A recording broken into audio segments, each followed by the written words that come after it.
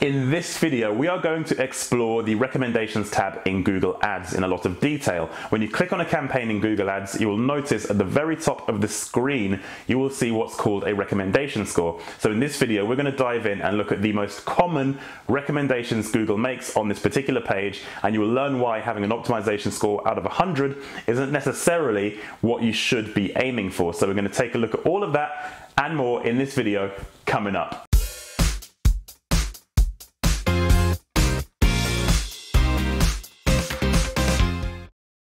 Hey guys, Darren Taylor of thebigmarketer.com here, and my job is to make you a better marketer. Now, if that sounds up your street, you should consider subscribing to this channel. And in this video, we're diving into the recommendations tab in Google Ads and understanding what some of these recommendations actually are and what they mean, and whether or not you should put them into practice. So, in this particular video, we're going to look at the five most common recommendations Google makes for campaigns, for search campaigns in particular. So, let's start off with the very first recommendation recommendation Google often makes. Google often asks you to show up on their partner sites to increase your overall reach. You'll see this recommendation if you've set a campaign up to appear with your ads on Google only. Now, Google have a number of networks and partner sites that they work with, and of course, those sites aren't actually Google search. And what can happen sometimes is the quality of traffic from those websites are, is often not as good as on Google directly, which is understandable. Google recommending that you appear on partner sites can be a bit of an issue. Now, for me,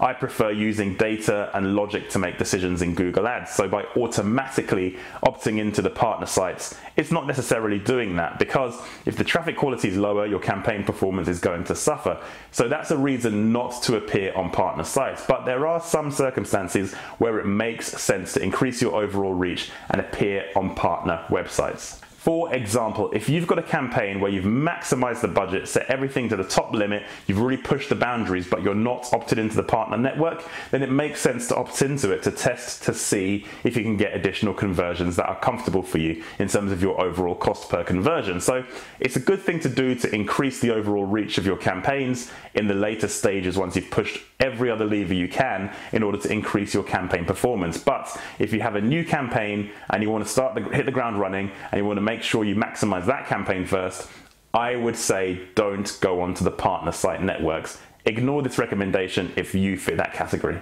Another recommendation Google often makes is that you should use optimized ad rotation. Now, all this means is if you've set your campaigns to optimize and rotate your ads indefinitely, then Google will recommend that you use their algorithms in order for them to decide which one of your ads they should serve to which users performing searches that trigger your ads on Google, which sounds like it's a logical thing to do, right? Well, not always, because from experience, I have set campaigns up from the very beginning using rotating ads by Google's choice, by letting Google optimize the rotation of my ads. Now, I look at the calls to action and the kind of promotions I've put in my ads, and I think to myself, hmm, this doesn't seem right. People will definitely resonate with another particular message on one ad than the other, but Google kept serving the other ad more often. Even with very little data, the campaign had only been live for a matter of days. So I reverted back to my own choice, which is to rotate indefinitely so Google doesn't get to choose which one of my ads is showing. Well, you know what happened next. Google, of course, made a worse decision than I did,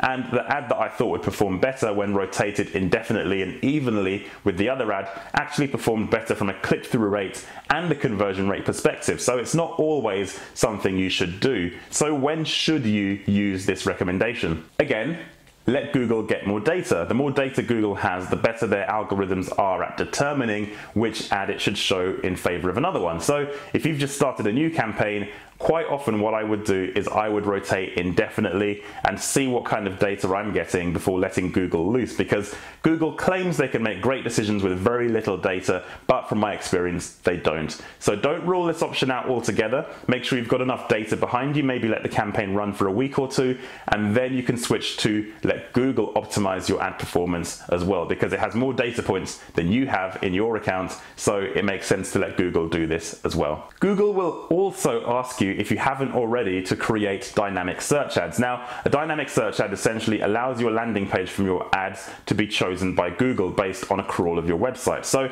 it will look for the most relevant pages across your site to serve to users based on your ads and keywords. So the idea being that Google will find the most relevant page and the user will hit the most relevant page when they perform the search to trigger the ads. So it sounds like a good idea, again, like a lot of Google's recommendations, because you're technically going to serve the most relevant page on your website to the user. Now, that's not always the case. If you have a really small website with very limited service pages or you provide a single service, or you've created a dedicated landing page for paid search in order to maximize your conversions, then don't use dynamic ads because you can select a better page than Google could. And if you're confident and you can prove with data that the page you've created will convert better than any other page on your website, maybe you've looked at your Google Analytics. But either way, if you know for sure from conversions and traffic you're getting that a particular page is performing, then create an ad with that specific final URL because otherwise Google might change page and they might choose a different page to the one you prefer.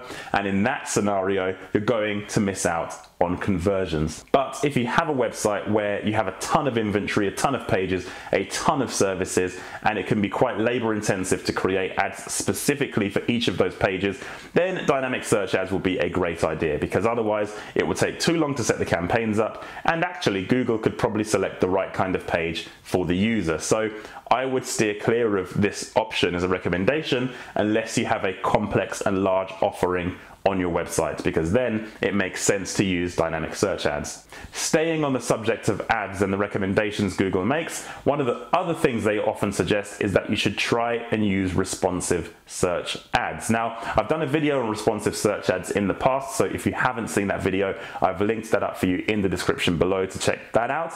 But in reality, a responsive search ad is a tool that allows Google to optimize ads based on multiple choices of headlines and descriptions. So in ideal world, Google will algorithmically determine which combination of headlines and descriptions will provide the best results for the best users on the best devices. And it, again, this all sounds really positive and really something you should be doing. However, from my experience, I have found that responsive search ads often have a lower click-through rate than my usual regular expanded text ads. And again, I've made a video about this, so be sure to check that one out and you'll get a good understanding of the data I've used and the things I've looked at for that particular scenario. So should you abandon responsive search ads altogether? Well, not necessarily. If you can test responsive search ads, and I would advise you definitely test responsive search ads in line with your other expanded text ads in your campaign, then if, the, if it's working for you, then definitely go ahead and do it. Put those changes into place, go all in on responsive search ads. But if they're not working for you,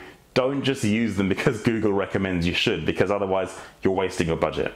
And finally, if you're collecting conversion data in your Google Ads account, it's very, very likely Google will recommend a target CPA bidding strategy. Now, like the last point, I also made a video about this too, so be sure to check that one out in the description as well. But ultimately, Target CPA allows Google to algorithmically determine when to show your ads and who to show your ads to and adjust the bids accordingly in order to make sure your conversions meet a certain cost criteria. They stay within a certain cost range. Now, this again sounds like a great recommendation to make, but ultimately it depends on how many conversions your account is getting. If you're running a campaign with low conversions in terms of the volume you're getting, maybe you're getting 10 conversions a month, maybe even 20 a month, that isn't much data for Google to work with. And as much as they claim that they can optimize your campaign better than manual CPC by using target CPA, it doesn't always work like that because there's so little data in order for Google to make the right decisions. You end up either staying on par with manual CPC or your cost per conversions just keep going up. That's something to take into consideration as well. It's worth testing for a period of time, but you'll notice as well with the optimization scores in the recommendations tab, this particular recommendation is usually got the biggest percentage in terms of the positive impact on your optimization score. So it seems like something you really need to do, but you shouldn't always do it. Before you do it, have a look at how many conversions you're getting. If you're getting a ton of conversions and you're still on manual CPC, then yes, it makes sense to move over to a target CPA strategy strategy. If, on the other hand, you aren't getting many conversions, then you should stay where you are on manual CPC for now, or maybe even try some of the other strategies as well if they fit your criteria. I've linked some of those up in the description for you as well. So there you have it. They are the five most common recommendations I've seen Google Ads make within the recommendations tab, and you've now got the understanding as to whether you should listen to them or not. Don't just listen to Google because Google says so. Test, learn, implement, and change and repeat, and make sure that you're doing things that benefit your business, not Google's business. Thanks for watching this video. If you liked it, please leave a like below. Let me know in the comments if you're confused by any recommendations you've been given by Google. I'll be more than happy to help you out down there. I pretty much respond to every single comment I get, so hit me up down there below. Don't forget to check out the other content on my channel, and more important than that, don't forget to subscribe, and I'll see you guys on my next video.